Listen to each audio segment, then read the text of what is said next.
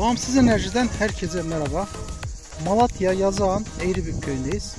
Müşterimiz Servet Bey'in 20 beygir pompasına 48 adet 545 watt CV Enerji'nin 30 yıl elektrik üretim garantili panellerinden şöyle 16 burada arazinin yapısından dolayı 32 tane de orada olmak üzere toplam 48 adetlik 2 sehpalık bir kurulum gerçekleştirdik.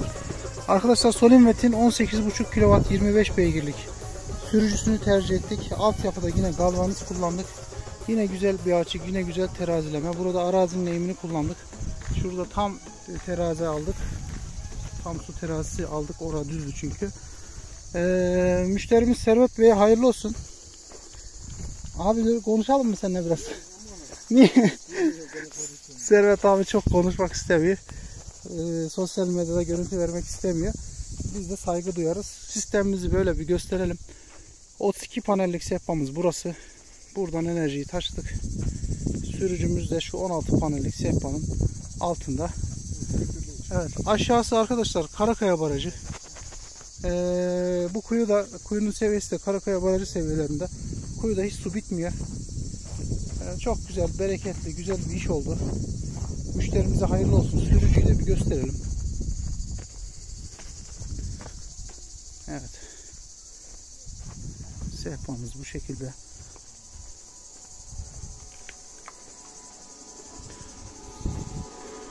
Sürücümüz Solimvet şu anda öğle saatlerinde 18.5 kW'lık sürücü ellerde çalışıyor. İsterse şu şalteri kaldırdığında akşam kullanabilir.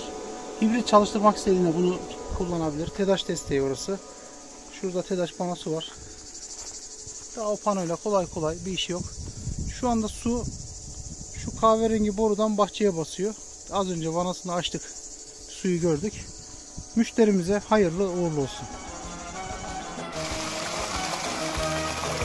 Ağla gözüm ağla Dağlar karalı bugün Çağla yaşım çağla Gönlüm yaralı bugün. Kar yağmış saçlarıma Ömrüm boralı bugün. Heyecan aklım nereli bugün? Hayran deli miyim ben, ben Ömrüm boralı bugün. Heyecan aklım nereli bugün? Kurban deli miyim ben,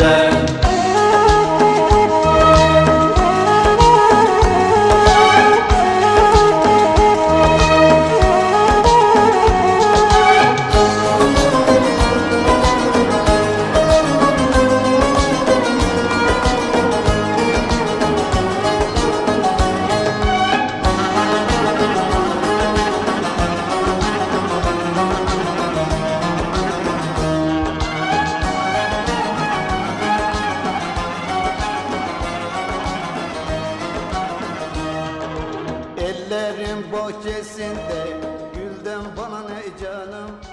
Bir gün için al